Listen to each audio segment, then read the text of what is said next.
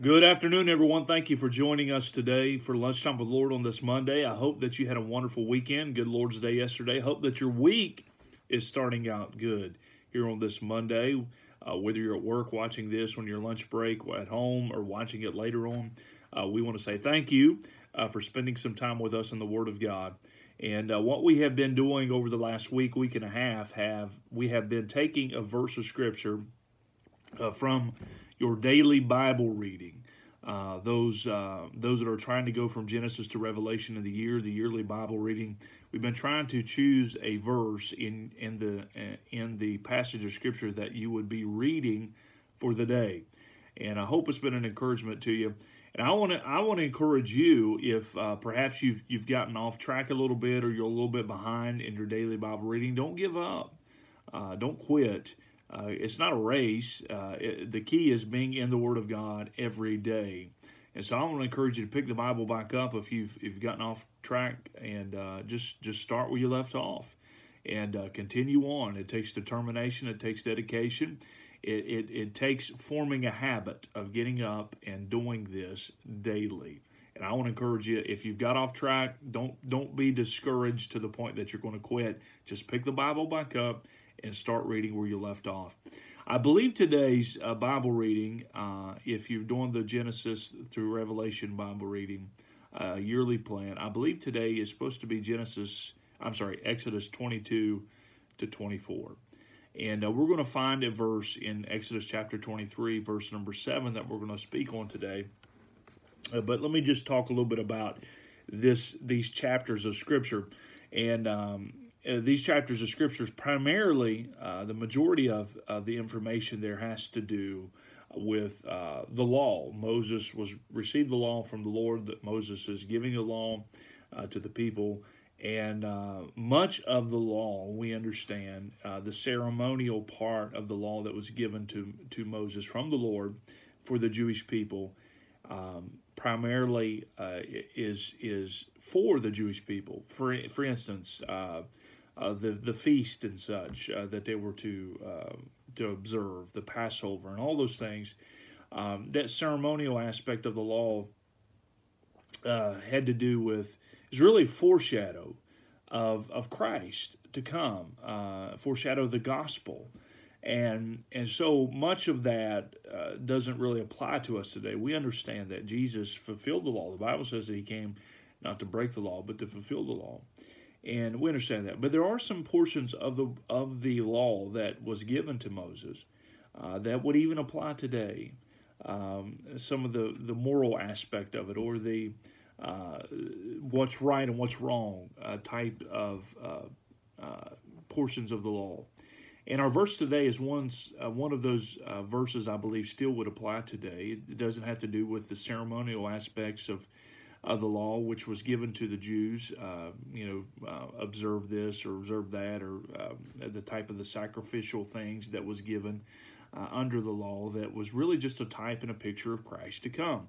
The verse that we're going to look at today is really, uh, uh, you know, identify some things that are right and some things that are wrong. And I believe they still apply today. Exodus chapter 23 in verse number 7 says this Keep thee far from a false matter and the innocent and righteous slay thou not, for I will not justify the wicked. Really, you can divide that verse into three uh, statements. And I believe all three of them applies today in 2021. And uh, really, we can see how uh, relevant this verse is in our day that we're living. Let's break it down a little bit. The first part of that verse tells us, Keep thee far from a false matter. In other words, uh, put some distance between yourself, you and, and that which is false. In other words, it's encouraging us to be people of truth. Uh, we're to be honest people. And uh, certainly, we see New Testament scripture that uh, backs that claim up that God hasn't changed His mind uh, on this aspect um, that we that truth is no longer important to Him, and truth is, shouldn't be important to us. We understand that that's that that is not what God is teaching. God is uh, taught here and commanded for people to be true, uh, people truth, and certainly we find that in the New Testament as well. Uh, we as Christians should be people of truth, honest people. If there's anybody that uh, should uh, people can count on uh, and people can take them at their word. It should be people that are believers in Christ. In fact, the I mean, Jesus himself says this. He says, I am the way, the truth. Jesus said, I am the truth. And if we're living for Christ and Christ is living in us and it, he's abiding in us and uh, he's leading us, uh, we're followers of Christ, disciples of Christ, we ought to be people of truth. We ought to be honest people. And in every day, in our relationships, we ought to be honest. Uh, in our business, we ought to be honest.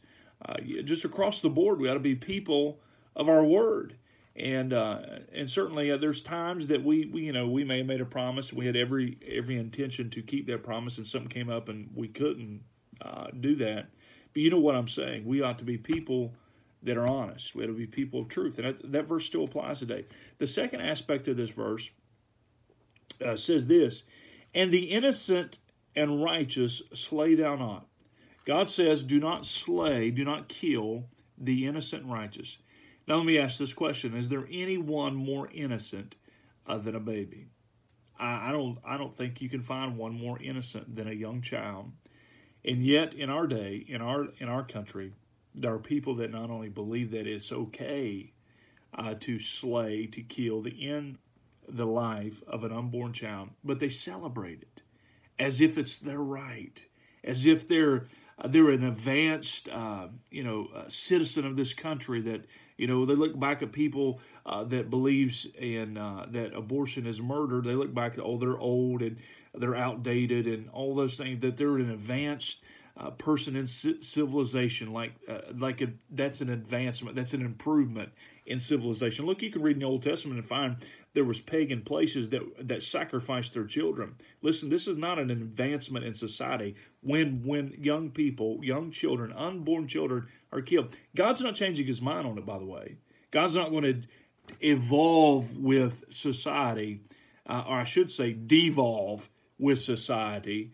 Uh, to the point where this is an accept something a practice that's accepted in the sight of God. God says this: Do not slay the innocent. Don't kill them. And there's no one more innocent uh, than an unborn child. And he's, he's saying here, do not kill them. Do not kill the innocent. Do not slay them. And uh, we, we're living in a day where it's not only accepted, but by many, it's celebrated. And it breaks my heart. I know it breaks your heart as well, but God's not changing his mind on it. And certainly those that um, I believe a nation that continues to do it, I, I, mean, I believe judgment is coming. I mean, I, I believe God's judgment will come uh, because of this terrible, terrible practice uh, that we're so guilty of. All right, it continues. Be honest, people. Do not slay the innocent. Here's the third part. For I will not justify the wicked. God says, I'm not justifying the wicked. Now, uh, what happens in our day, uh, we have uh, folks that want to, ju- I mean, man is always trying to justify their evil works in their own sight. I mean, we make excuses up for them, right? Uh, why we do this or why we don't do that or why we're guilty of this or why we believe certain things that are, that might that that's against God's word. We make excuses. We try to justify it in our sight. We may we may even have other people justify it for us. Uh, you know, we have uh, media that'll justify wicked wicked acts in our day. We have politicians that may justify wicked acts in our day. We have, I, I mean, go on and on and on and on. Uh, we, we make excuses of uh, try to justify thing wicked acts that God says is wicked. And uh, but the truth of the matter is, when they stand before God in God's court, they're not going to be justified. God said, "I'm not justifying the wicked. I'm not changing my mind on these things." And yet, people make excuses, um, uh, come up with reasons to justify in their own sight, but in God's sight, they're not going to be justified. Now, I want to close with this.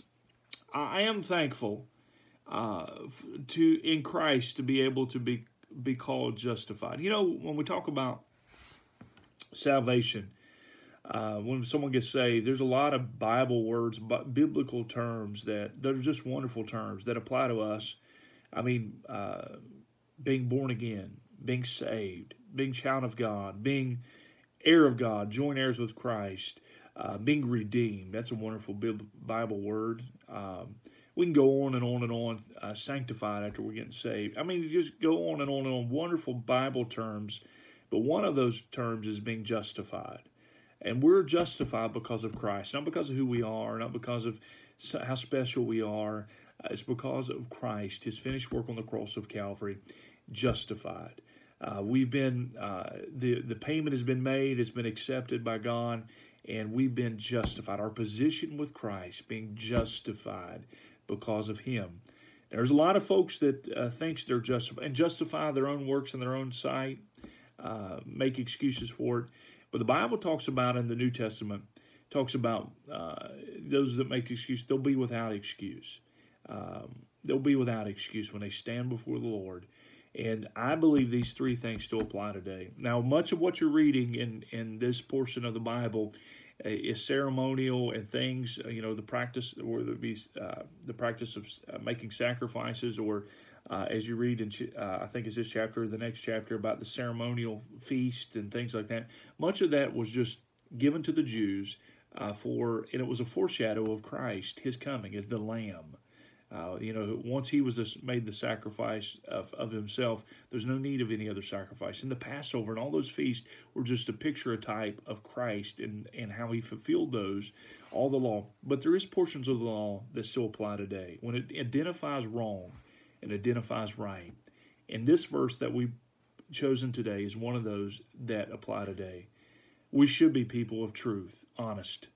He says, keep thee far from a false matter we should be concerned uh, for the innocent lives. The Bible says, and the innocent righteous slay thou not. We should, we shouldn't justify our wicked ways, uh, make excuses for it when they don't line up with the Word of God, because we may justify it. Others may justify. it. We may be justified in others' sight. They may excuse it and make excuses for for us. But the Bible says, "For I will not justify the wicked." This verse still applies to today. Hey, I hope it's been encouragement to you. Hey, I, I just want to say stay at it. If you've got off course, stick with it, and you'll get through the law portion. I know sometimes that that's difficult, as a lot of it applies to, uh, as I've said, to to the uh, to Israel and uh, and to the Jewish people. Uh, but just stay with it, stick with it, uh, continue to read, and I know God will bless you for it. Hope it's been an encouragement to you today. I hope it's been a challenge to you today. Let's pray for our nation, pray for folks uh, today. God bless you. Hope to see you tomorrow on Lunchtime with the Lord.